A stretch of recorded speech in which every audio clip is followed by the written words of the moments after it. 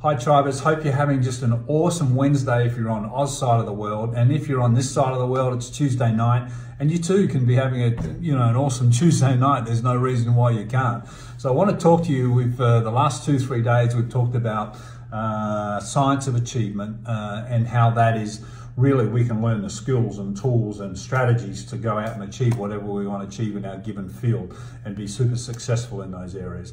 Then we talked about the art of fulfillment, I think was the other uh, point, and you know, the, making the choice to live a more fulfilled life and making the choice to live in a life of less suffering and making a choice to uh, uh, live in a more fulfilled life as opposed to just forever striving to, to get and striving to achieve. And the difference between achievement, we can be an achiever, we can be highly successful, and we can still not be fulfilled. So, seeking that fulfillment in life is super important.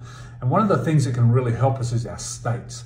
You know, we've been talking a little bit about how we can change our states. The state that I'm talking to you right now is a hired state you know, I could be talking to you in this state really quietly and, uh, you know, quite uh, reserve state and you'd probably be bored to tears. Or I can continue to talk to you in this state with my physiology changing that state a little bit. Um, you know, the thing is, we can live in two states really probably two states mostly can ca categorize a lot of things in a suffered or negative state or in a beautiful and happy state so there's our two choices a positive state or a depressed state.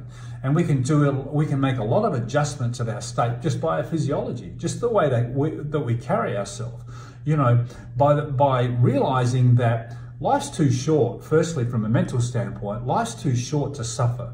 You know, so we if we change the bar, it'll raise the bar or, or raise our standards, if you like uh, as far as suffering goes and raise our standards as far as how we want to live. So if we become totally aware of that, well, then that would be probably the first point in changing our state. Secondly, we can change our physiology.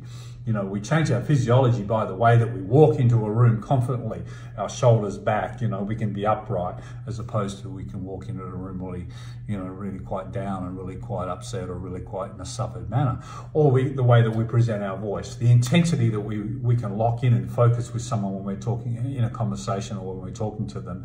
You know, we can be talking to them looking away or we can be talking to them looking straight to the eye, you know, and we can have some, a little bit of enthusiasm and a little bit of joy and a little bit of passion the way that we continue and come home with a point, you know, um, the way that we connect with somebody, you know, facially is really, really important. So the physiology, my point is, you know, there's a little bit of over uh, dramatization, I guess, but my point is we can either be here and be quite, you know, um, not physical and not sort of locking in and, you know, just to be, be a little bit sad or a little bit suffering from a suffered state, or we can be in a to totally locked in focused state.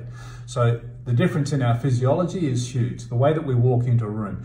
If I feel like I'm feeling coming from a little suffered state, I can change that state by quick, quickly making a move um, and making a confident move, and it might be even considered a power move into a change state. All of a sudden, I'm a little more energized. Also, my breathing can help me. You know, the way that I breathe, if I can breathe, my breathing in the morning, one of my rituals that I do in the morning is a real good way to change your state. Power moves, you know, power moves here whether it's a power move there, whether it's a power move from a vo- from a voice, uh, from my voice, the way I present. So there's there's different ways to change your physiology, and just realize that um, emotion is created by motion. So if you want to put some emotion into your life, if you want to put some emotion into your conversation, if you want to put some emotion into your day and into your state, then you can do it with motion. All right, it's, it's probably one of, there's two ways that we can do it by focus, the way that we change our focus, and the one that I really like is the way that we do it with our body, and that's the physiology. Change your physiology, change your state, change your life. Hopefully that helps. Go out and be great today. Go out and be great tonight. Remember, you can live a life by design. You've got to be conscious. You've got to work on some things. You've got to continue to make changes, continue to make strides through the day. And I know you can do it. I know you can change your life and live an optimal life. Be great. Talk to you tomorrow.